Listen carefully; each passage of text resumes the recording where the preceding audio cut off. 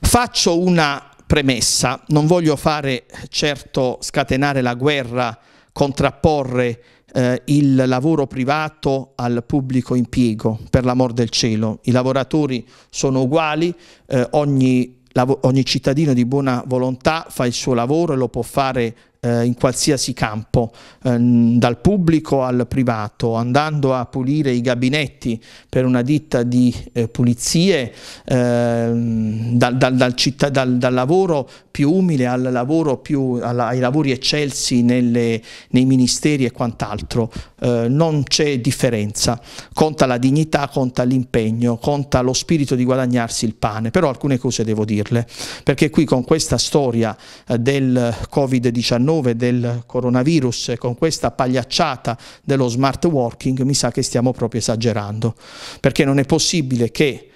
una bella fetta di dipendenti pubblici oramai lavorino poco e nulla, poco e barra o nulla, con questa scusa dello smart working, il lavoro da casa. Perché ci sono dei lavori da casa che si possono fare anche in smart working con il computer, quindi penso alle funzioni impiegatizie e quindi bene o male lo si può fare. Ma ci sono altre attività, sempre di dipendenti pubblici, statali, eh, penso ad alcuni del, dipendenti del, del Ministero della Difesa, beh, se tu sei manovale, se tu sei cuoco, se tu sei cameriere, bello mio, tu non puoi godere dello smart working perché cucinare il piatto, cucinare la pasta, preparare un piatto o andare a fare, a fare il falegname e aggiustare una porta rotta o fare l'idraulico, beh questi sono lavori che di per sé sono mansioni che non si possono fare eh, appunto con lo smart working. Con lo smart working puoi fare dei lavori di programmazione a livello impiegatizio, eh, bilanci, programmazione, ferie, turnistiche e quant'altro, ma fino a prova contraria, se una porta è rotta, tu devi andare la devi riparare, non la, non la, ripari con la telepatia da casa. Eppure lo smart working riguarda e coinvolge paradossalmente anche tanti dipendenti pubblici, cosa incredibile. Per carità, chiariamo, eh sono, io non voglio generalizzare, ci sono tanti lavoratori dipendenti pubblici che lavorano e che si danno da fare, però ci sono altri casi di dipendenti che forse protetti anche da forze sindacali ci marciano su questa situazione. È davvero incredibile perché stiamo parlando di un paese in cui c'è tanta gente che vorrebbe lavorare, che farebbe i salti mortali per poter lavorare e poi si vede, si vedono loro a terra con le pezze al sedere e poi si vede la casta privilegiata di certi statali che eh, sembra esente dal lavoro, come se, ripeto, questo smart working è diventata davvero una, una follia. Eh, anche perché poi ci sono anche dei casi di smart working eh, per dipendenti che tranquillamente potrebbero stare negli uffici sul posto di lavoro perché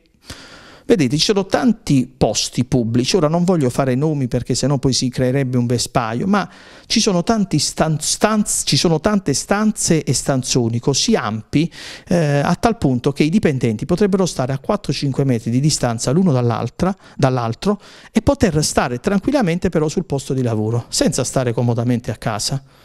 potrebbero sollevare il sederino dalla sedia e andare a lavorare. Poi ci si organizza, perché ci sono tanti, ripeto, locali in cui si può lavorare sul posto di lavoro mantenendo il doveroso distanziamento sociale, quello imposto appunto dalle pratiche anti-Covid.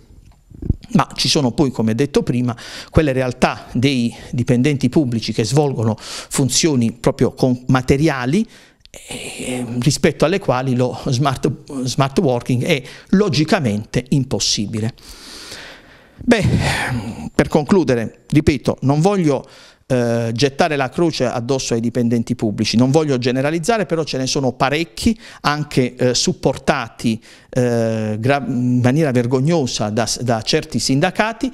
Ehm, certi dipendenti pubblici farebbero bene a darsi da fare, a lavorare, a, a, muovere, a sollevare il sederino dalla sedia di casa perché, e andare a lavorare, perché è bello starsene a casa, con il sedere comodamente seduto su eh, poltrone di velluto e poi puntualmente ogni fine mese ricevere l'accreditamento dello stipendio sul proprio conto. E poi ci sono tanti laureati, tanti figli di, figli di famiglia, tanti giovani e meno giovani, che si sono fatti tanto di mazzo, scusatemi l'espressione, i cui genitori hanno fatto sacrifici per mantenerli agli studi, per mantenerli all'università e poi questi li vediamo ammuffire a casa e però anche a casa ci sono i dipendenti pubblici che fanno gli stra puntini puntini comodi loro. Beh, beh, qui non devono esistere i dritti e i fessi. Dipendenti pubblici, andate a lavorare.